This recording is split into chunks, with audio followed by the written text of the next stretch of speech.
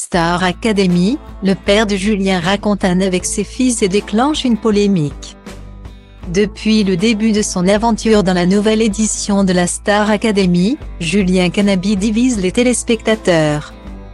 Si certains l'ont soutenu en masse lors des deux premiers primes, au cours desquels le jeune chanteur était nominé.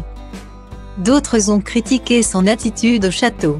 Alors qu'il était parvenu à échapper à la nomination à l'issue de la semaine des duos qu'il avait vécu avec Anisha, il est de nouveau sur la sellette aux côtés de Stan.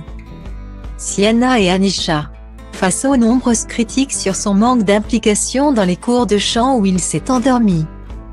Ou encore dans la classe du chorégraphe Yanni Marshall où il a refusé de se prêter à un exercice en talons aux argants qui lui laisserait sa dignité. Julien peut compter sur ses proches pour le soutenir.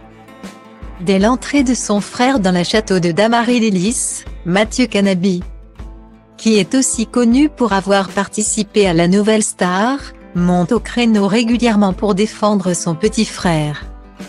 Lors des dernières évaluations, Julien devait chanter le titre Lucie de Pascal Obispo mais s'est arrêté en pleine performance.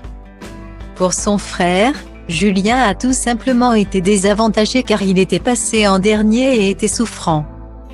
De même, lorsque des internautes annoncent de faux numéros pour soutenir Julien lors de ce nouveau prime.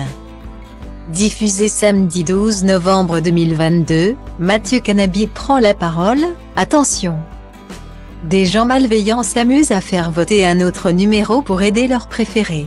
Le seul pour Julien, c'est le 2 pouces. Dans la famille de Julien, son père, Clément Canabi, a lui aussi tenu à prendre la parole sur son compte Instagram. Musicien et chanteur, il a dédié sa vie à la musique tout comme ses fils. Un héritage touchant dont il a partagé les premiers instants de transmission dans un live. Mais voilà, au gré de son récit, Clément Canabi a révélé qu'il s'était notamment grimé en Stevie Wonder. Précisant que ça lui demandait beaucoup de travail parce qu'il est blanc aux yeux bleus.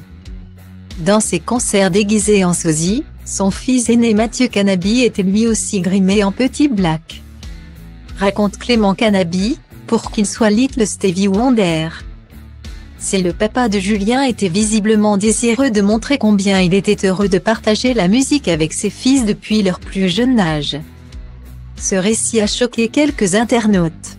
On rappelle que le blackface est totalement interdit le père de Julien qui met plus Julien dans la sauce qu'autre chose, mais quelle horreur les propos du père de Julien.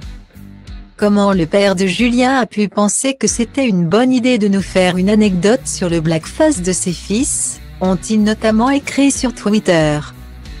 Testez vos connaissances sur la Star Academy et remportez un séjour avec Homer Vacances ou un coffret jeu disco party avec Hugo Images.